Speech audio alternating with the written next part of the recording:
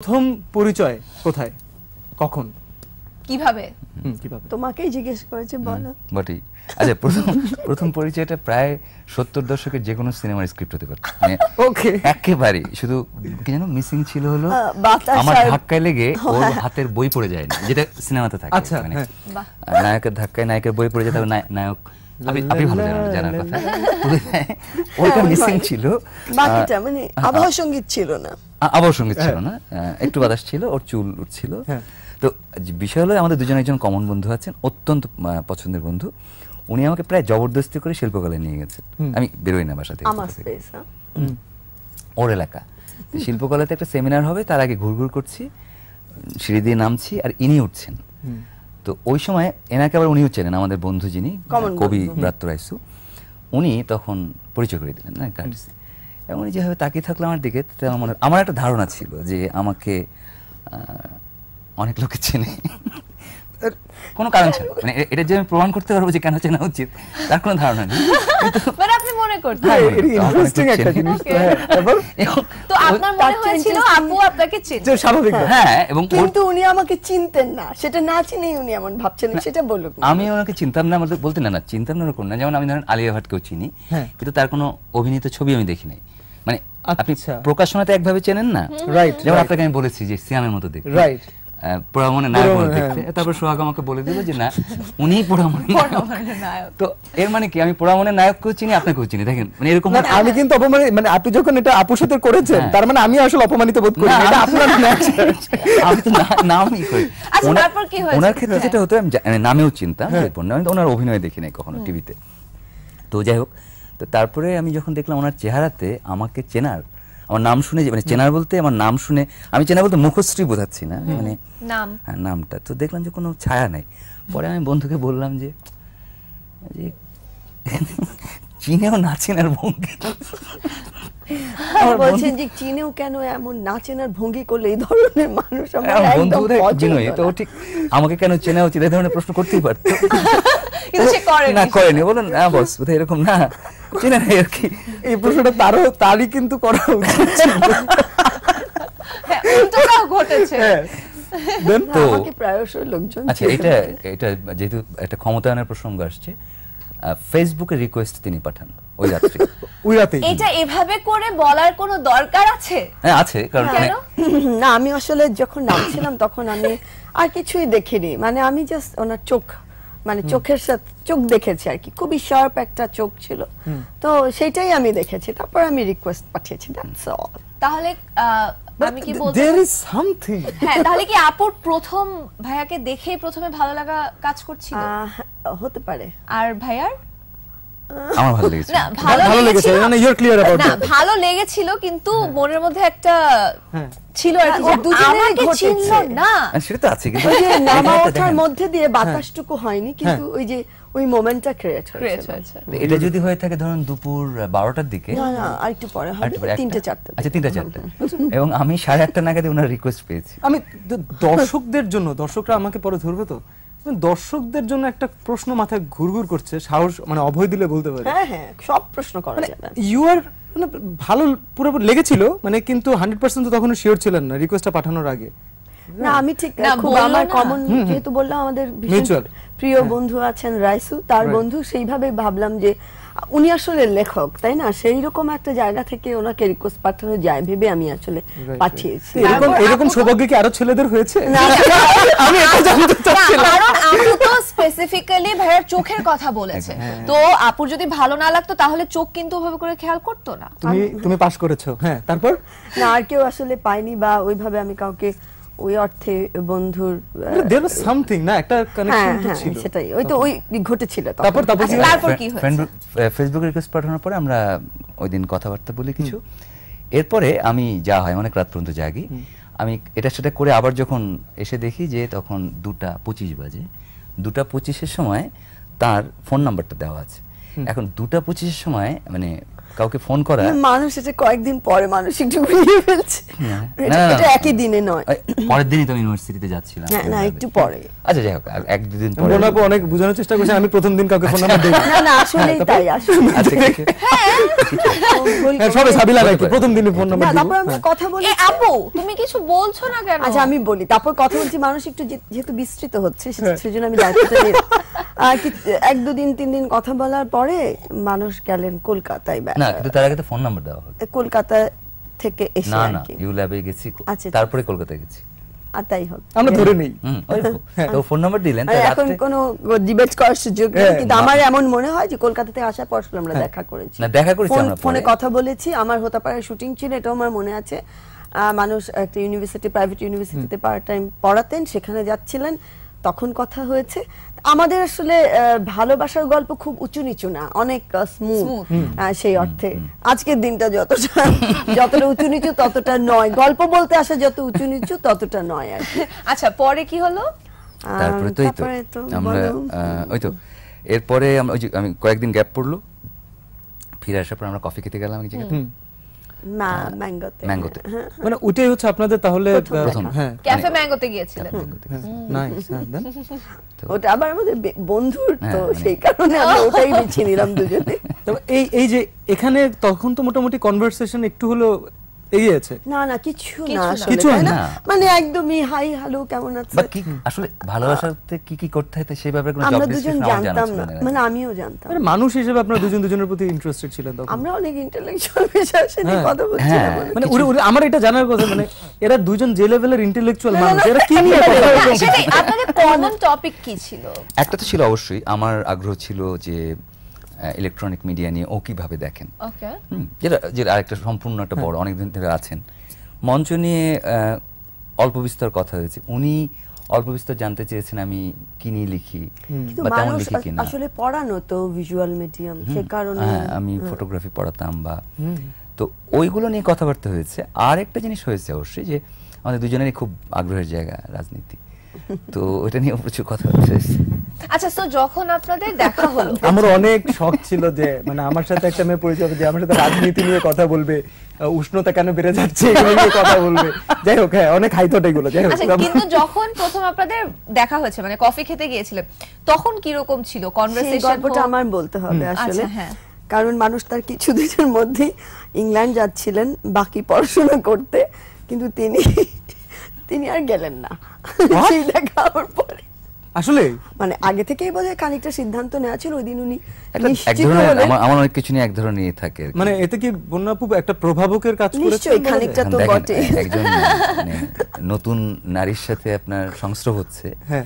তো তখন আসলে ঠিক মানে শহর ছেড়ে যাওয়ার তো কোনো মানে হয় না। যাওয়ার কোনো মানে হয় না বাকি পড়াশোনার কোনো দরকার নেই কারণ ওই দূরত্বটা হলে মানুষ আশঙ্কা করছিলেন যে আমাদের আর কোনো যোগাযোগই হবে না।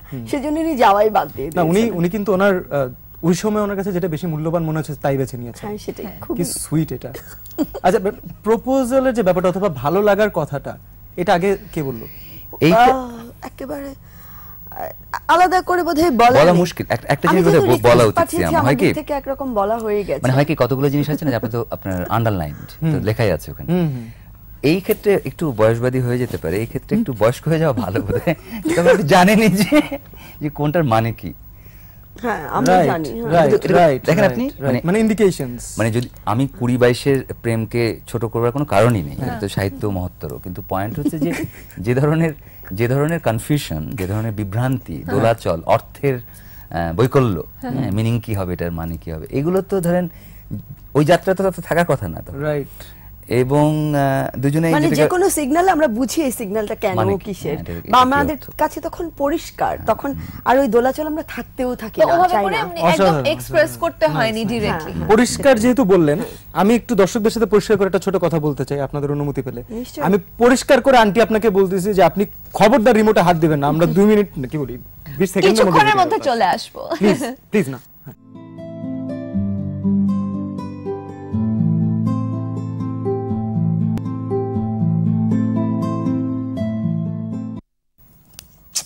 কাশি বন্ধু? ও সরি হ্যাঁ। শুরু হয়ে গেছে সরি ওয়েলকাম ব্যাক এটা সিরিয়াসলি নেবেন না কাজ ছিল। যাই হোক আমরা পরিষ্কার করে কথা বলছিলাম সো আমরা পরিষ্কার কথায় ফিরে আসি।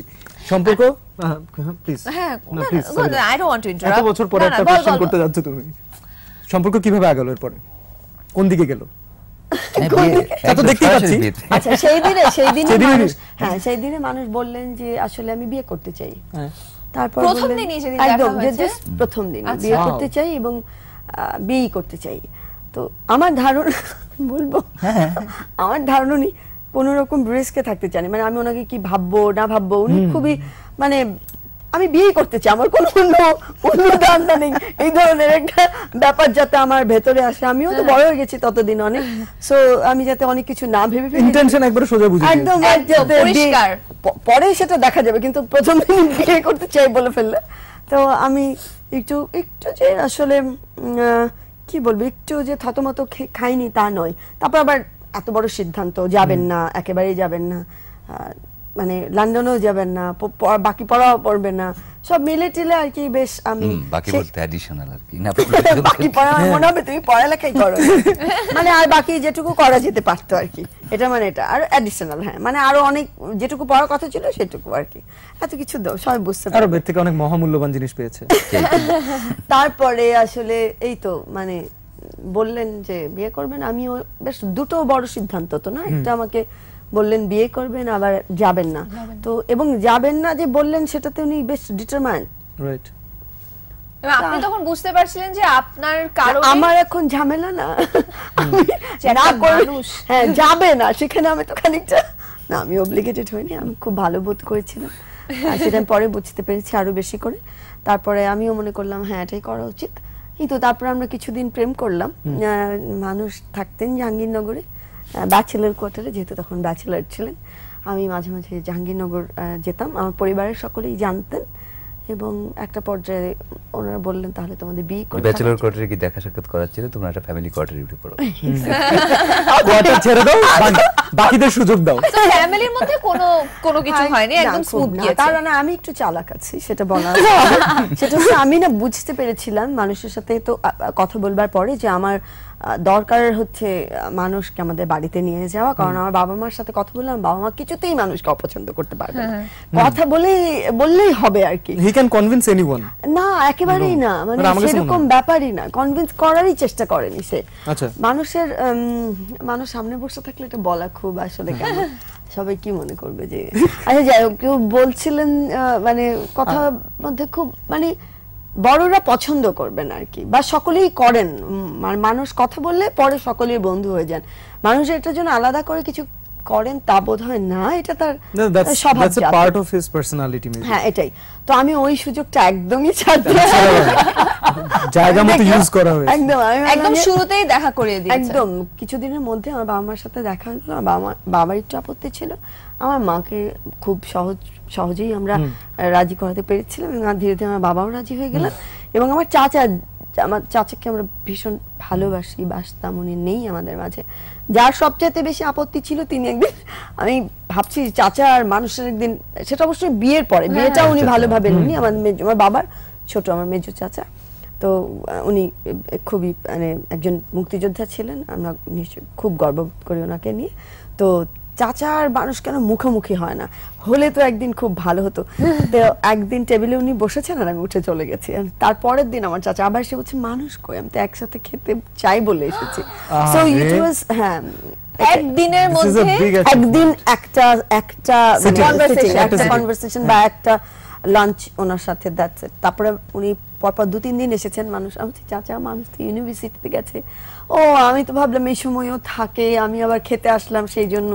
তো মানুষ এই রকম ছিলেন ফলে আমার বাবা. মাকে কনভিন্স করতে খুব this is a big support big support আমি আরেকটা ছোট্ট আমরা আমাদের পরবর্তী রাউন্ডে যাব বাট আমি আপনাদের দুজনের জন্য এক কথায় একটা অ্যান্সার জানতে চাই। আপনাদের ভালোবাসার মূল ভিত্তি কি আগে না ভাইয়ের কাছ দুজনের দুজনের কাছে আলাদা হতে পারে। এক এক শব্দ উত্তর দিতে হবে। হ্যাঁ, এক- এ, আমার ধারণা আমাদের যদি আদৌ ওটার নাম ভালোবাসা হয় তাহলে আমাদের ভালোবাসার মূল ভিত্তি হতে পারে যে আমাদের দুজনে কোনো একভাবে আলোচনা না করি আমরা ডিফিনেশন কেয়ার করি কথা বলা যাবে না। না আমার ডিফিনেশন কেয়ার করি না। ও ডেফিনেশন হ্যাঁ, কেয়ার করি করি না। তাহলে ভালোবাসা কি? এই অর্থ মানে খোঁজে- খোঁজার চেষ্টা করেন না. নেই কোনো আর আপু? আমি আন্ডারস্ট্যান্ডিং আন্ডারস্ট্যান্ডিং এক্সিলেন্ট সো এই মানে দুজনের মাঝখানে ভালো আন্ডারস্ট্যান্ডিং থেকে আমরা একটা আন্ডারস্ট্যান্ডিং এ চলে যাই। আমরা আমাদের পরবর্তী রাউন্ডে যেতে পারি তাহলে। নিশ্চয়ই। সেই রাউন্ডে কি হবে সাবিনা সে রাউন্ডে প্রেম পত্র লিখতে হবে। আচ্ছা। কীভাবে সেটা? সাড়ে চার মিনিট সময় আছে যা খুশি তা তারা লিখবেন। এন্ড আবার কীভাবে না কীভাবে সাড়ে চার মিনিটের আগে শেষ করা যাবে অবশ্যই শেষ করা না তবে এখানে একটা কন্ডিশন আছে। আপনার চিঠিটা যেন অবশ্যই এসএমএস না হয়। না সেটা হবে না এটা আমরা বুঝতেই পারছি সিয়া অ্যাট লিস্ট এনাদেরটা তো আমি এক্সপেক্টই করি এক্স্যাক্টলি হবে না। বন্যাপুকে চিনি বাট আমি ভাইয়ার কাছ থেকে আজকে একটা অ্যামেজিং কিছু আশা করছি অনেস্টলি দেখা গেল আগামী সপ্তাহে কি কি কিনতে হবে তার লিস্ট করে এটা হয়েছে কিন্তু। বাসায় এই আসার সময় একালে ডিম নিয়ে এসো এটা লাগে। এসব লেখা হয়েছে আমাদের শোতে। লিখ নিয়ে আচ্ছা, না, ফেলেন কিন্তু আচ্ছা, আমি একটা প্রপার চিঠি লিখতে চাই কারণ মানুষ আমাকে একটা চিঠি লিখেছিলেন। আমাদের ঠিক বিয়ের উম, আগ দিয়ে সেটি বোধহয় মানুষ গিয়েছিলেন সিলেটে প্রশান্তদের বাড়িতে হ্যাঁ, হ্যাঁ। প্রশান্ত মৃধা।